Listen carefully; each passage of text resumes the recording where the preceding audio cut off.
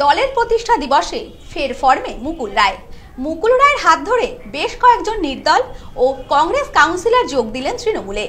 এর ফলে কৃষ্ণনগর পৌরসভায় তৃণমূল কাউন্সিলরের সংখ্যা দাঁড়াল একুশ।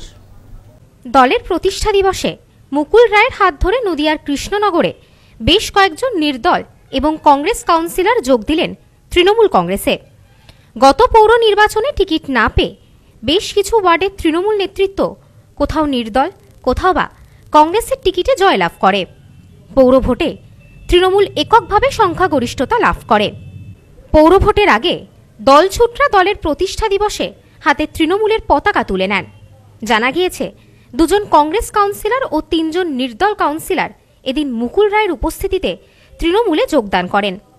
দলত্যাগীদের মধ্যে উল্লেখযোগ্য প্রয়াত জননেতা গৌরীশঙ্কর দত্তের পুত্র অয়ন দত্ত আছেন। কংগ্রেস ও নির্দল ছেড়ে তৃণমূলে যোগদানের ফলে রাজনৈতিক মহলে শুরু হয়েছে জল্পনা। প্রোগ্রাম ছিল দলের দলের প্রতিষ্ঠা দিবসের প্রোগ্রাম। প্রতিষ্ঠা দিবসের চেয়ারম্যান আসেনি তাহলে নিশ্চিত তার কোনো কাজ ছিল অন্য কাজ আসবে বলেছিল নিশ্চিত ওরা সবাই মিলে আমন্ত্রণ জানিয়েছে।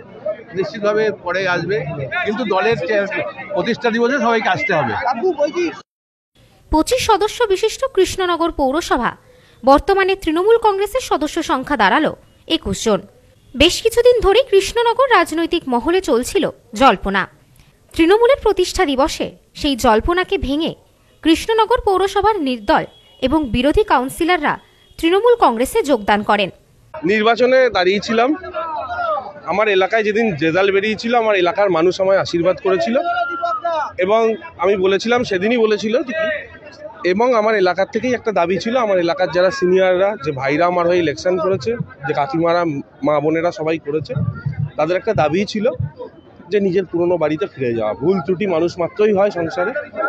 অভিষেক বন্দ্যোপাধ্যায়ের আশ্রয়স্থলে, মমতা বন্দ্যোপাধ্যায়ের আশ্রয়স্থলে এবং জেলায় বাবার সব থেকে নিকট বন্ধু ছিল দীর্ঘদিনের উজ্জ্বল কাকা, আজ বাবা নেই। উজ্জ্বল কাকার হাত ধরে কল্লোল কাকা সবাই এবং সিনিয়ররা সবাই ছিলেন। আমি সবারই ছেলের মতন।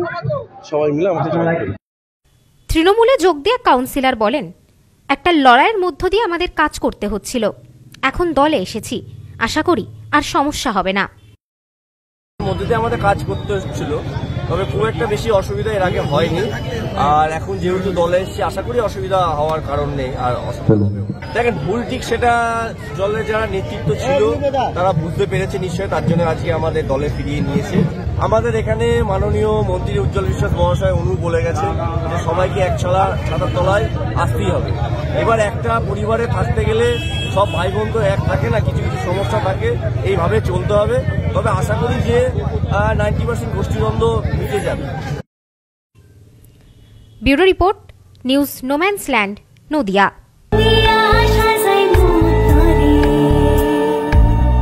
নারীর সৌন্দর্য শাড়িতেই সঙ্গে রয়েছে আদি মোহিনী মোহন কাঞ্জিলা